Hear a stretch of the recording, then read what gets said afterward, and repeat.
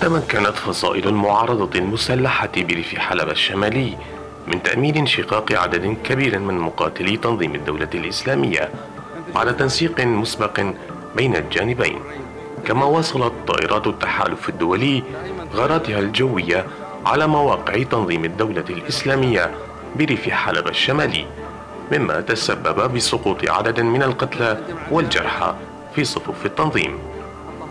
حيث ذكرت مصادر موثوقة عن اتصالات سرية تمت بين فصائل المعارضة وعناصر من تنظيم الدولة الإسلامية لمدة شهرين وفي جو من السرية التامة تمخضت عنها عملية الانشقاق التي أسفرت عن تأمين أربعين مقاتلا من تنظيم الدولة الإسلامية في ريف حلب الشمالي. هذا ومن الجدير بالذكر أن ريف حلب الشمالي يشكل ساحة للصراع بين مختلف القوى والميليشيات المسلحة على الأرض السورية والتي يبدو أنها ستلعب دورا كبيرا في مسار الأزمة. هنا آرا نيوز.